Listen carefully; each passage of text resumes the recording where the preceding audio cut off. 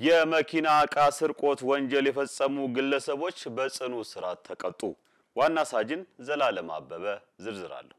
ኤልያስ መንገሻ፣ አየለ አሻግሬና በሰላሙ ባልቻ የተባሉ ተከሳሾች የስርቆት ወንጀሉን የፈጸሙት በኮልፌ ቀራኒዮ ክፍለ ከተማ ወረዳ ሁለትና ስድስት አካባቢዎች ነው።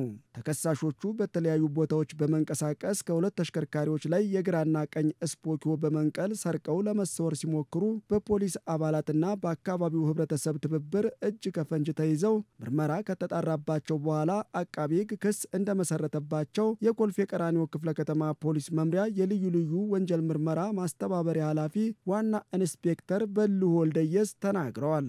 በምርመራ በማስፋት ቤተል የፈጸሙት ካራ ላይ እንዳለ ሁለቱ መዝገቦች በማቀናጀት በመረጃና በማስረጃ በማስደገፍ እነዚህ ወንጀል ፈጻሚዎቹ ላይ ክስ ተመስርቶባቸው አቃቢ ሕግም አርቲዲ ወንጀል ችሎት ቀርበው አንደኛ መከላከያ አለን ብለው ሲሉ ፍርድ ቤቱ የዋስትና መብት ነውና እንደ መብት በዋስ አላቸው። ሁለቱ ተጠርጣሪዎቹ የዋስትና መብታቸው መክፈል ሲያቅታቸው ወደ ማረሚያ ቤት ሲወርዱ ተከሳሽ ኤልያስ መንገሻ የተባለው የዋስትና መብቱን ከፈለ። ከከፈለ በኋላ በዋስ ከወጣ በኋላ በዛው የቀረበት ነው። ጉዳዩን ሲመለከት የቆየው የፌዴራል የመጀመሪያ ደረጃ ፍርድ ቤት ኮልፌ ምድብ ችሎትም በፈጸሙት የመኪና ዕቃ ስርቆት ወንጀል ተከሳሽ አየለ አሻግሬና በሰላሙ ባልቻ እያንዳንዳቸው በ16 ዓመት ጽኑ እስራት እንዲቀጡ ወስኖባቸው በማረሚያ ቤት የሚገኙ ሲሆን ኤልያስ መንገሻ በሌለበት በ17 ዓመት ጽኑ እስራት እንዲቀጣ ከወሰነበት በኋላ በፖሊስ ክትትል ተይዞ ወደ ማረሚያ ቤት እንደተላከ ዋና ኢንስፔክተር በልሁ ገልጸዋል።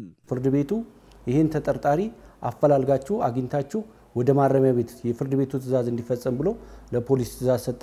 ፖሊስም ከብዙ ጊዜ ጥረት ልፋት በኋላ በካራ አካባቢ የክትትል አባሎች ሲንቀሳቀስ የተያዘና አሁን ተይዞ ያ የፍርድ ቤቱ ውሳኔ 17 ዓመቱ ውሳኔ ወደ ማረሚያ ቤት እንዲወርድ የተደረገበት ሁኔታ ነው ያለው። ማንም ሰው ወንጀል ፈጽሞ ከሕግ እንደማያመልጥ የጠቀሱት ዋና ኢንስፔክተር በልሁ ባለ ንብረቶች ወንጀል እንዳይፈጸምባቸው ለንብረታቸው አስፈላጊውን ጥንቃቄ ሊያደርጉ እንደሚገባና ሕብረተሰቡም ለጸጥታ አካላት የሚያደርገውን እገዛ አጠናክሮ መቀጠል እንዳለበት መልእክት አስተላልፈዋል። ፖሊስ ብቻውን የሚሰራው ስራ የለም። ስለዚህ ሕብረተሰቡ በጋራ በመሆን እነዚህ ወንጀለኞችን ወይ ደግሞ ወንጀል የፈጸሙትን በጋራ በመሆን ማስቆም የሚችልበት ሁኔታ እንዳለ ነው።